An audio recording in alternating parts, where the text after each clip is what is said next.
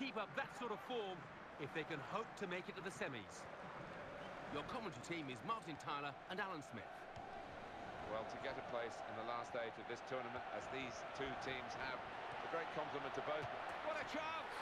The goalkeeper paying the price. The goal unguarded, the goal conceded.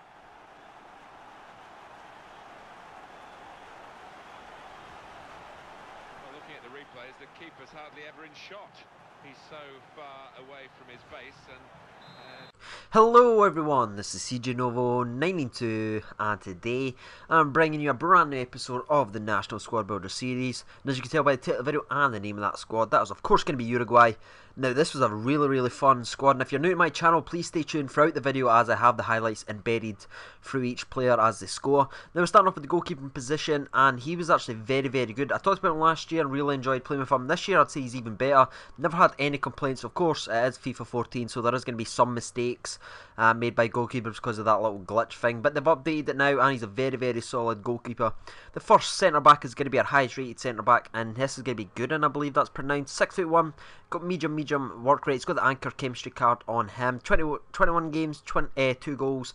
He's very solid. I would say he was the weakest of the three centre backs, but again, the weakest is a little bit harsh because he is a very good centre back. The next centre back is going to be someone that was a right back, I believe. I'm pretty sure that was him anyway and that is going to be six foot. Uh, I can never say his name. Not even going to try, but he's got high defensive work rate. And look at that pace, 81 pace, and I've got the centre card on there. 81 defender and 78 heading or something like that. Very very strong centre back. Probably one of the best centre backs I've actually used because he's got all that pace and all that uh, high defensive work rate.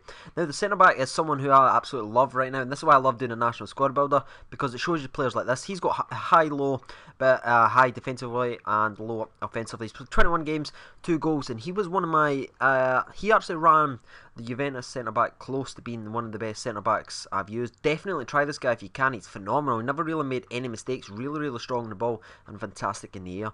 The first centre defensive mid is an absolute tank. He's got medium, medium, but don't let that fool you. He never goes forward. He's got five assists in 21 games. Never even came close to scoring, lads. This guy's shooting is horrendous. Um, but he's not about that. Him and his defensive partner Rios, I believe that's a Rojas or something that's pronounced are absolutely phenomenal at centre defensive mids. They're unbelievable how good they are. They just break up everything. He's actually got high defensive work rate and he's got pretty high pace as well. But them two, honestly, try them just they're so good. They just break up the play. They've got great aggression stats, great strength stats, great stamina stats. They're absolutely brilliant. The right mid is going to be Sanchez, and he was another one that surprised me. I thought maybe he was just going to be all about the pace, but he's got very good aggression stats, very good uh, stand tackle tackle stats. That's why I have him in the right mid of my 3-5-2. And I've also got the anchor card on him as well, just to help with the defensive, because he does a lot of tracking back.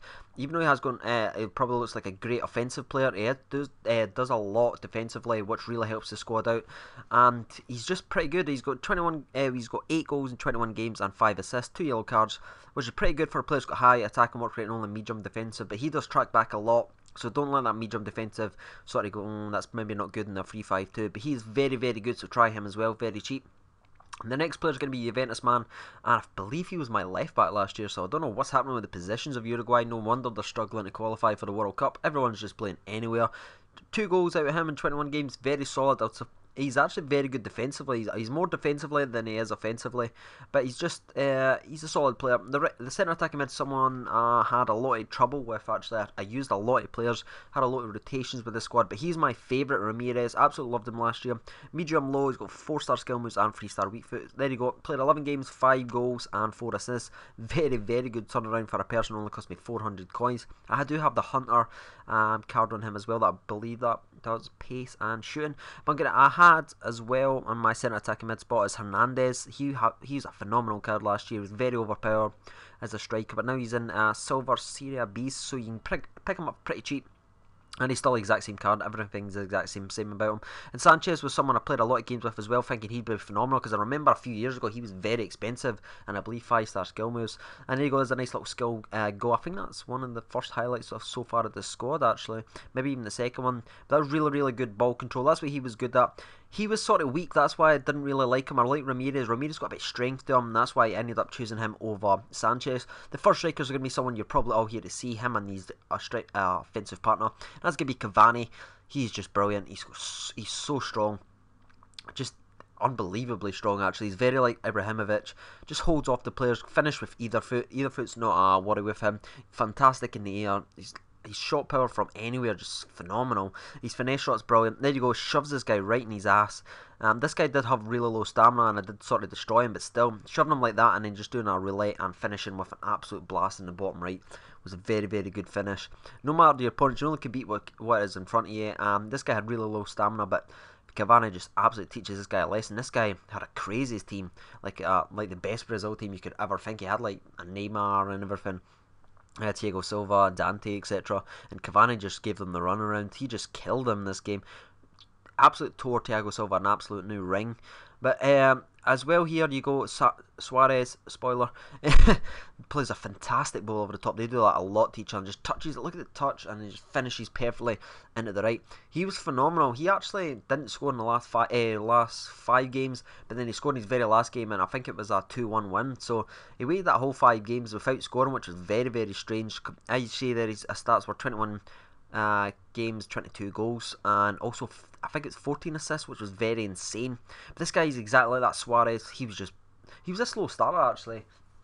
Cavani was the one that scored all my goals in the first like 15 games, and then Suarez sort of took over to the last 50, eh, the last odd games, and he was just scoring hat tricks left, right, and centre. Either foot, long shots, uh, very, very good skill. He's got great, great uh, ball control. I'll show you that in not coming high. That was probably one of the best goals I did score with Suarez. As you go, just showing you shot power from outside the box as well.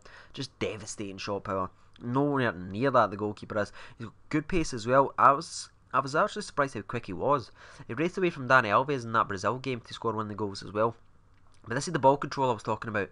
That I, I've done that a lot, and that saved me a lot of time, especially against the better opponents that pressed you really fast, as you saw there. He just takes one touch, dead ball, turns, fantastic finishing, and just overall great play. Here again, it's just showing you so you don't think that's a fluke. Here you go, little turn, and just finishes again. Probably, if I was going to say who's better out of Cavani and Suarez, I'd probably say, oh shit, that's actually a hard one. Um, I'd probably say Suarez just because he scored more goals and had more assists. But they're two phenomenal, phenomenal players. If you pick up either of them, they'll do a, certainly do a job for you. Go 21 games, 26 goals, and 16 assists. So that's the team, lads. Go ahead and try that squad. I'll show you some of the little back players as well. Uh, Fernandez, I cannot say that. I think that's Fernandez or whatever it is. He's a very good player as well. Um, Diego Forlan as well. And of course, waiting to before we finish off the squad, we've got to have the legend that is Pizzini in there. Um, let's see. There we go. Bing bang. Bosch, there he is. Um, so the best player of the squad is going to be Cavani, Suarez, honourable mentions, um, the centre backs and the both centre defensive mids. The weak link, there going to be no weak links. I really enjoyed this squad. Gonna give it a 10. If you can afford this squad, lads, it is pretty cheap actually. I think it's under around 100k, something like that. If you can pick up the squad, go ahead and try it. And as always, I've been CJ Novo 92. Thank you for watching, and bye bye.